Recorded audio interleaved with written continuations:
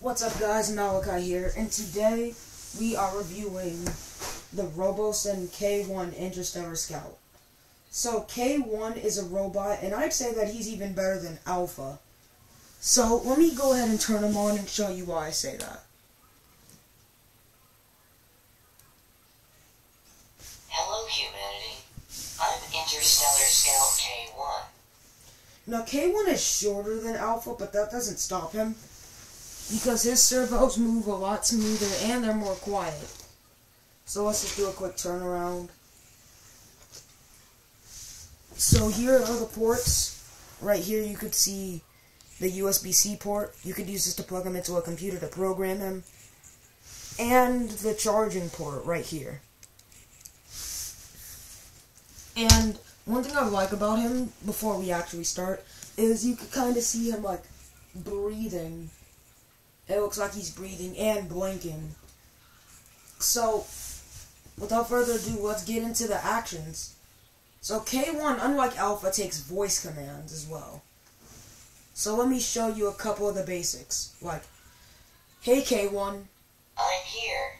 say hello. Hello. This is Star K1. Hey K1, I'm here. Do push-ups.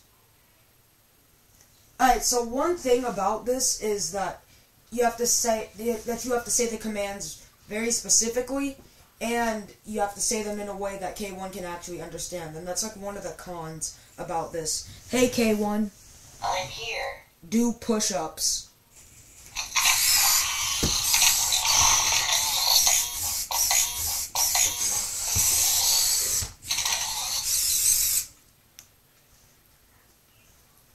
So, uh, let's let's get rid of all the actions first.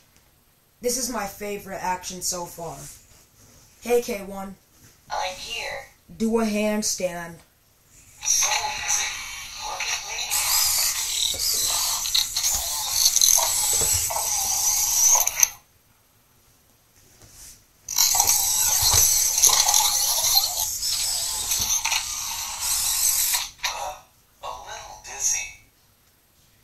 So let's go ahead and start by comparing the two. Alpha and K1. I'm here. Never mind. So you have to um say like so sometimes he'll pick up on your voice too if you like say his name. So let me go ahead and get Alpha over here. Uh, Alpha's most likely never gonna get his arm fixed. So um let's go ahead and compare by size. If you weigh Alpha down on the ground right now.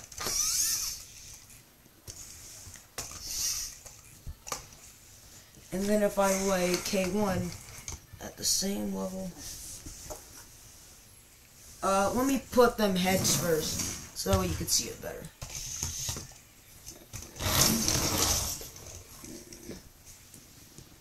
So he is, so K1 is a little smaller than Alpha. Like he's a lot smaller and thinner too. But it doesn't stop him. He's still a very cool robot. And yeah, he is better than Alpha. And let me actually end up showing you why I say that too.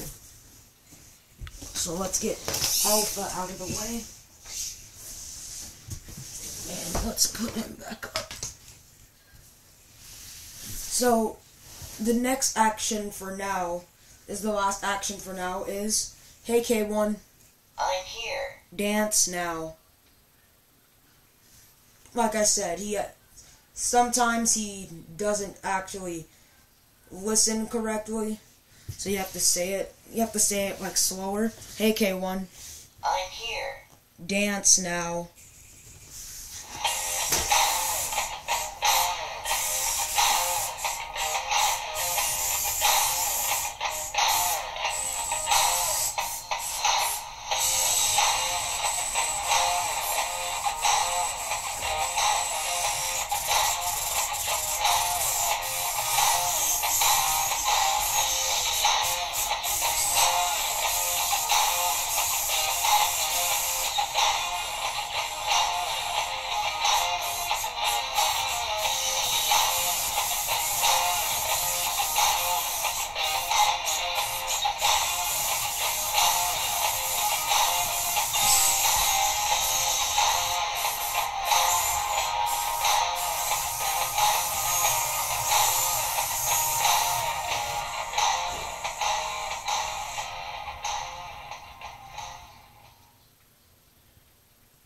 So yeah, basically, he's alpha, but cheaper, better, and smaller. So basically, whatever alpha can do, he can do that's pretty much better. Plus more. So, now to get into the most important part, the app. So, the app is called K1. It's capital K and then capital O N E. Alright. So, this is the app.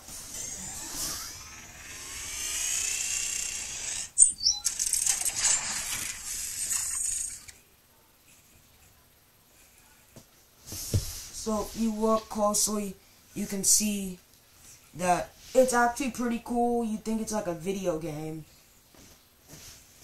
You can't really see it too well. But, um, let me try to show you guys better. You guys can't probably see this, but this button right here says connect, and that's where you connect to your robot. And, alright, now you guys can see it better. This says go program, and then this is where you program. I'll get into this later. These are the actions that you can make him do, and then this is the remote control to just control him manually.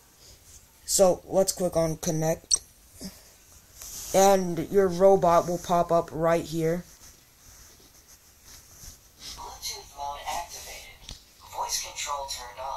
So basically, he can't take voice commands while in Bluetooth mode, but you could still make him do all the actions with the actions tab. So let's go to remote control first. So here, let me show you guys again.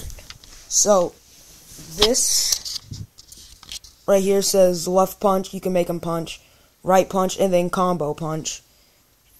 And then this cool little background right here. And then this is like where you control him from. And then this camera, you can you it activates the camera of your phone so that way you can see him while also looking at your phone to control him. Sadly, he doesn't have cameras, so it uses your phone's camera. And this right here, uh, so that button shows you the settings, and then this button takes you out of it. So let's go ahead and click the camera button to activate my camera. Okay. So, you see K1 through the app. So, let me put him back here so that way you guys can see him being controlled. Alright, so I'm gonna make him move forward.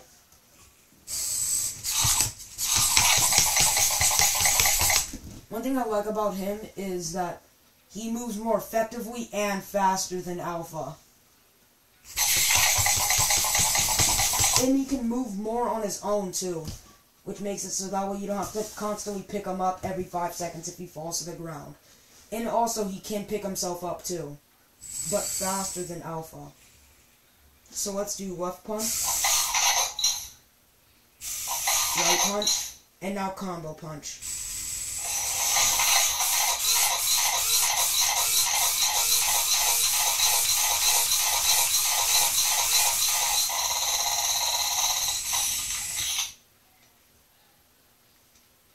You could see the battery level on here as well, and you can control the volume.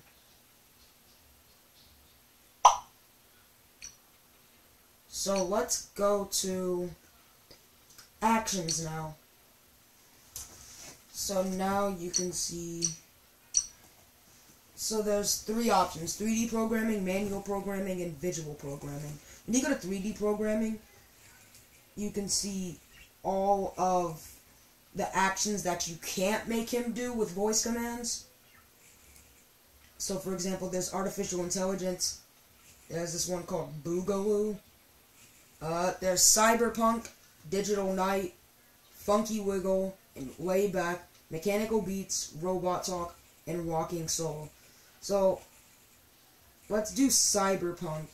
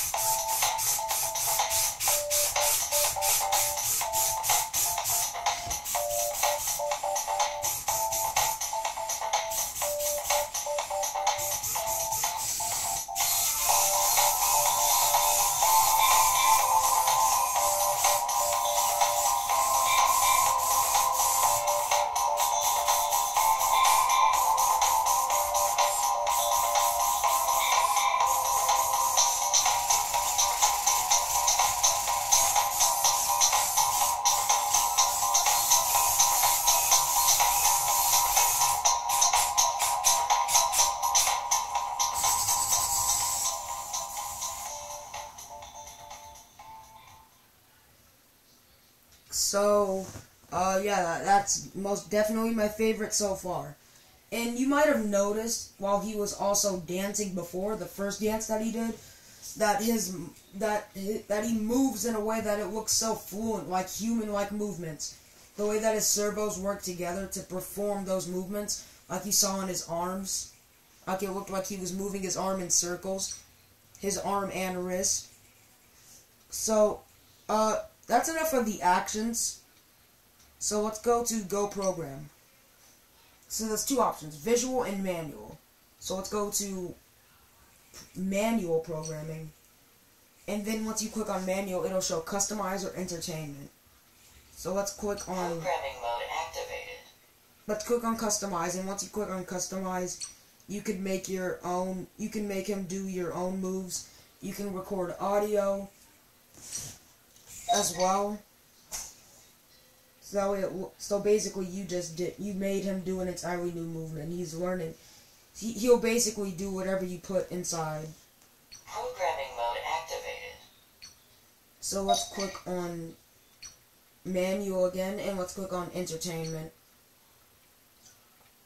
So here the app will show you a model of K1 and it'll show them doing a, a movement and you have to match up your K1 with that movement to move on. And then eventually all those movements will come together to create an action. For example, let's click on open arms. Programming mode activated.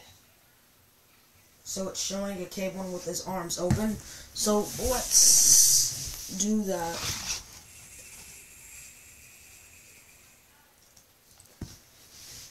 Left shoulder programming error. So one thing I don't like about this, because I spent the entirety of yesterday perfecting all of them, so I can show you guys, is that you have to uh, you have to put them like very specific, Left shoulder which is something I really don't like. Well done. Please save the action. And then now it shows me act- actually opening his arms. It shows K1 with his arms open like this. Excellent. You have completed all the actions. Tap play and watch. So once you've done it, he'll say that, and then you click play. And he'll show you. Congratulations. You have passed. So he'll show you completing the action. There's also leaderboards where it shows you, like, p- people that have K1s. It'll show how fast they've completed this action. Programming mode active. So there's three skill levels. Newbie, which was the first one that I did, which was open arms. The first one on newbie. Then there's skilled. And then there's master. So, um, if you guys want, I will try to do all of them eventually. So, Programming mode activated. let's go to visual programming.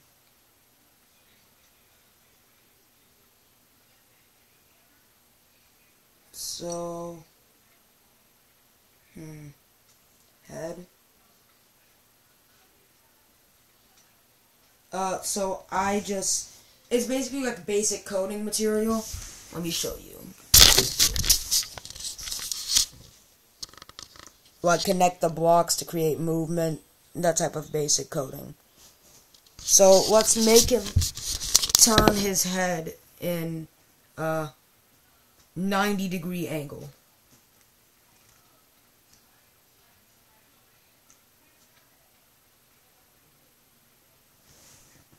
Alright. Uh, there's one called Pretend to Fart. Um, I don't know how much I kind of want that one.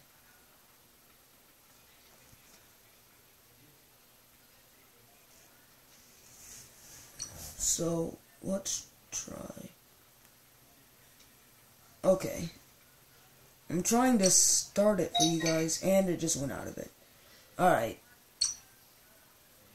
So let's do auto stand up, which is if he's like on the ground, he'll automatically get back up. For example. And then.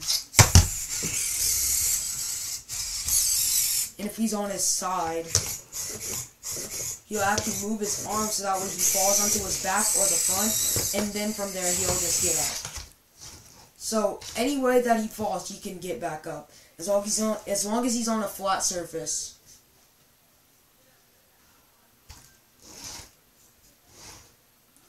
So um yeah, that's pretty much it. At least for now. If you guys want me to make a part two, because I most likely missed something. Oh, and also there's USB mode, which is like alpha. So you remember that USB-C port that I showed you guys earlier? So that you can plug that. You can get a cord, plug it into um K1, and then plug it into your computer to program him there, kind of like alpha. I still have yet to do that, so I'll probably make a video on that too for like a part two.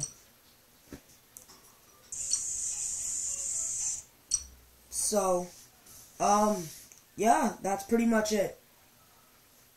So, hey K1. Oh, never mind. He's still connected.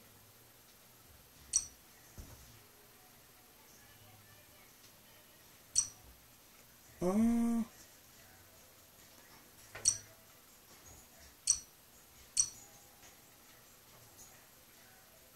so let me disconnect from him. Let's look at all the voice commands.